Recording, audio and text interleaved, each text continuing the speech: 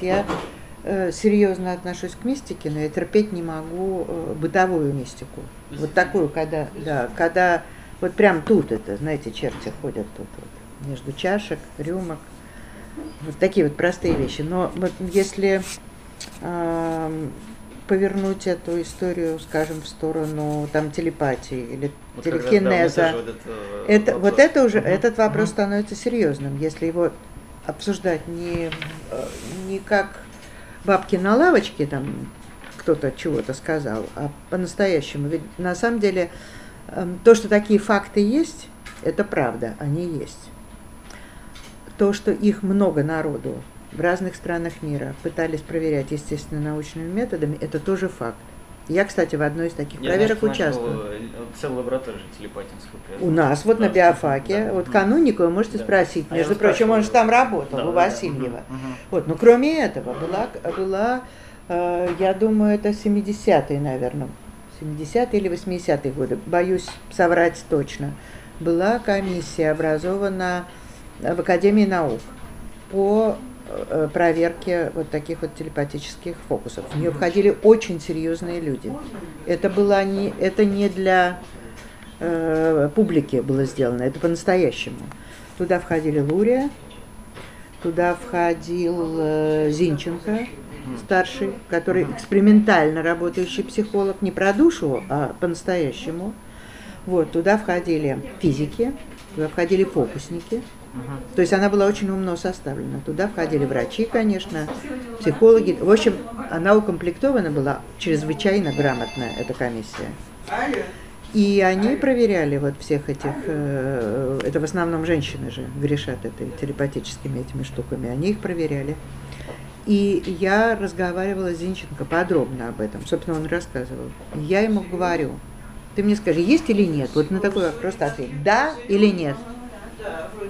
Он сказал, да, но ничего не понятно. То есть они на самом деле наблюдали эти вещи. Он говорит, сам видел, например, жуткую вещь видел. Значит, сидела одна из этих теток, которая там глазами все двигает, там, с силой духа.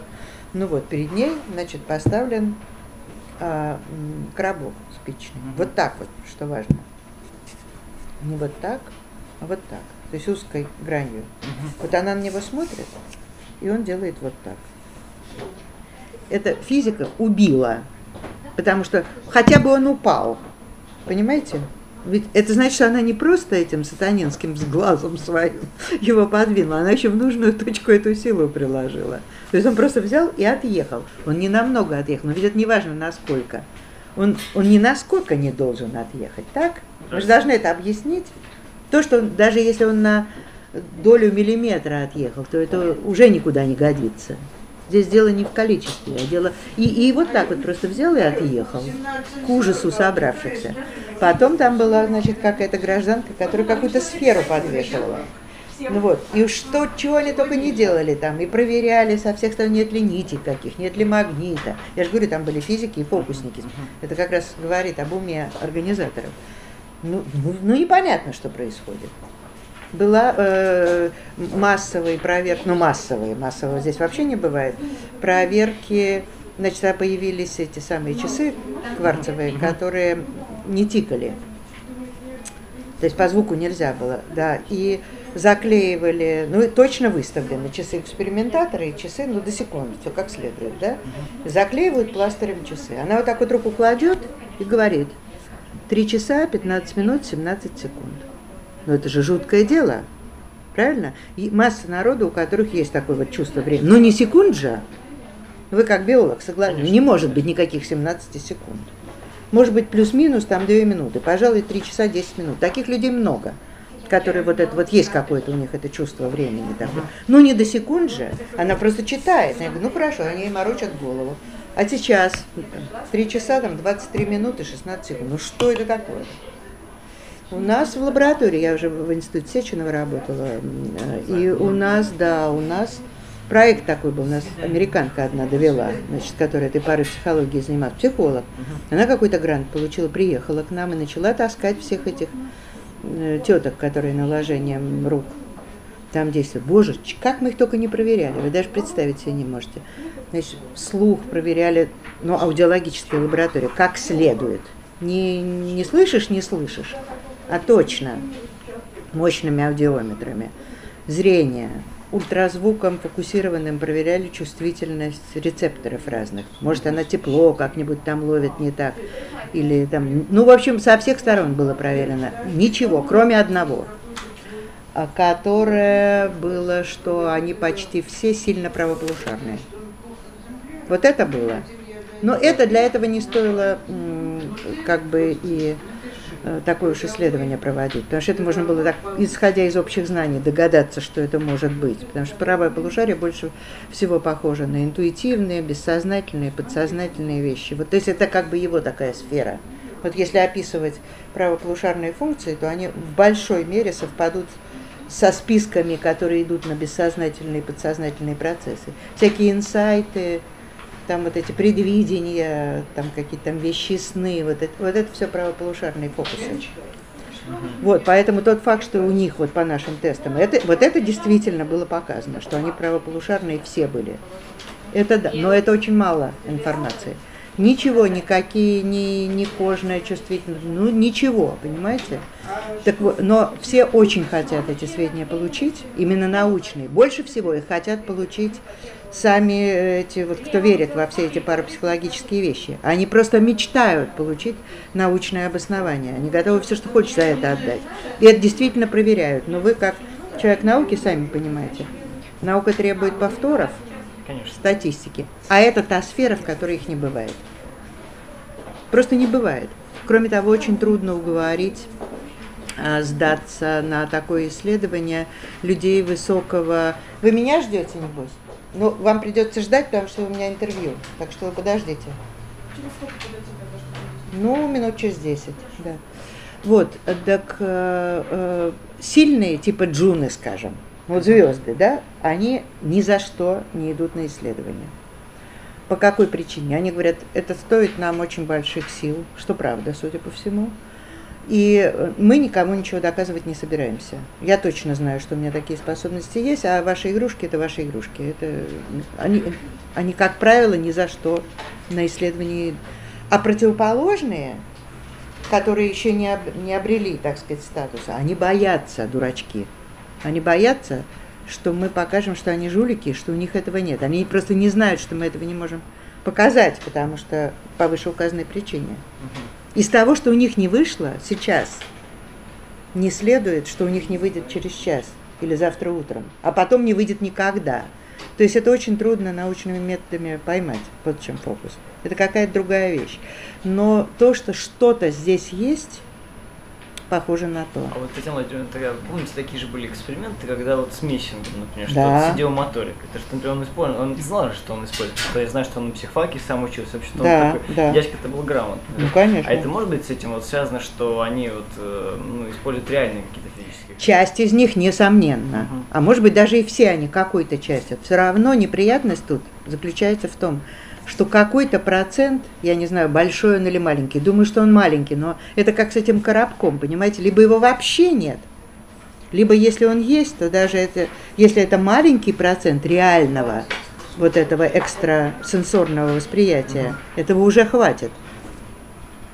То есть там есть факты, которые вроде бы ни во что другое не впишешь. Есть они. За счет чего это делается, мы не знаем. Бехтерева же очень этим интересовалась. Я вот с ней общалась последние годы, э, и мы обсуждали такие вещи.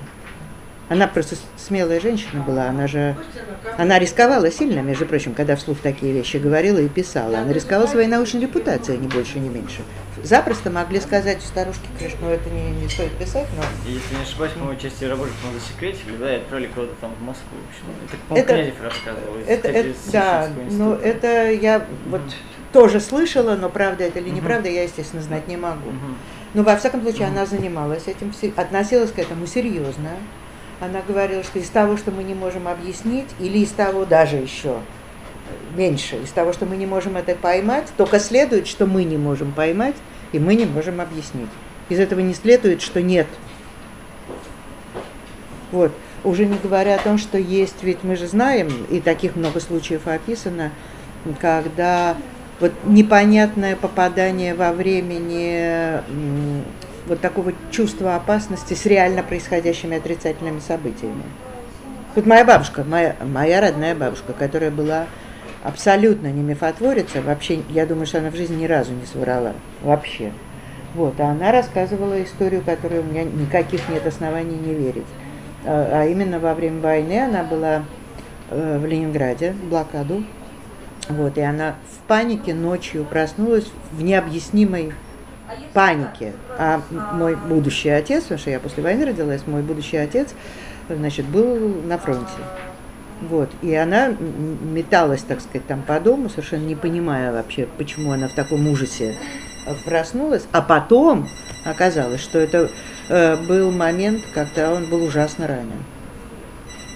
Тогда... Что это такое? Вы мне объясните. Есть вечный вопрос. У нас тоже читатели спрашивают, как mm-hmm. вы считаете, существует ли информационное поле? То есть, когда мозги да, могут как бы обмениваться своим. Э, мы, э, если честно отвечать, я как ученого, если вы меня спрашиваете, я отвечаю, мы не знаем. Мы, не знаем. мы просто мы не знаем про это. Здрасте. А что это звенит-то? А, ну ладно. Звенит и звенит. Ну, э, мы ничего не можем сказать. Может и есть. Тут, э, тут вот как бы надо делить, понимаете, на, научных аргументов у меня для того, чтобы сказать да или нет, никаких нет. Разве что мы можем исходить из того, что если не доказано, значит нету. Да? Ну, как бы наука привыкла так. Если мы говорим, что Земля квадратная, вот если сейчас мы скажем, то неплохо бы доказать. Правда? То есть, поскольку весь мир... Это, кстати, как с сознанием. Вот если возвращаться к началу разговора, то Пенроуз, знаете, наверное, такого человека, да, вот он говорит последние несколько лет, он уже пишет это в разных книжках, он говорит, сознание никаким образом не вписывается в физическую картину мира. Говорю вам как физик и космолог. Потому что его нечем взять. Нет его нигде. Эффект есть, результат. Вот про ветер-то я вот начала, вот это оно вот сознание как таковое не вписывается никуда. Значит, и есть два варианта решения. Либо неправильная вся картина мира физическая, на что, согласитесь, никто не идет, потому что это перебор. Перебор. Да, да. Либо его надо туда втянуть. Потому что иначе не, просто непонятно, что с этим делать. Как бы мириться нельзя с такой ситуацией. То есть все знают, что он есть, этот феномен, поскольку он есть у каждого из нас. Но что это такое и как его поймать, не знает никто, и нет ни малейшей идеи даже, как к этому подойти. Поэтому он говорит, я так, говорит, думаю, что это вообще имеет отношение к каким-то квантовым аномалиям или квантовым скачкам. Отдайте, он говорит, физикам эту историю, давайте мы будем над этим думать. А психологи, биологи, вы все отодвиньтесь, и философы тоже. Успокойтесь, вы эту историю проиграли. Он прямо пишет об этом. Понимаете, поэтому вот так же и с этим, это я почему вернулась как бы к началу, потому что когда вопрос с информационным полем, это вот такое же, понимаете, значит, если я это признаю, это значит, я должен, если я верю в то, что э, эти самые UFOs летают, эти НЛО летают, тогда это значит, что я должна одновременно с согласием, я должна зачеркнуть все законы физики, которые человечество знает в данный момент.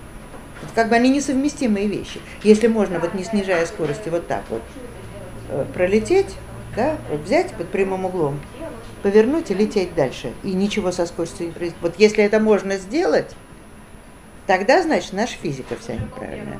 То есть это не, не, нам не жалко признать, пусть там эти зеленые человечки там ходят по Невскому на здоровье, если кому нравится. Но просто одновременно с признанием этого мы должны отказаться от всей научной картины мира, а это перебор.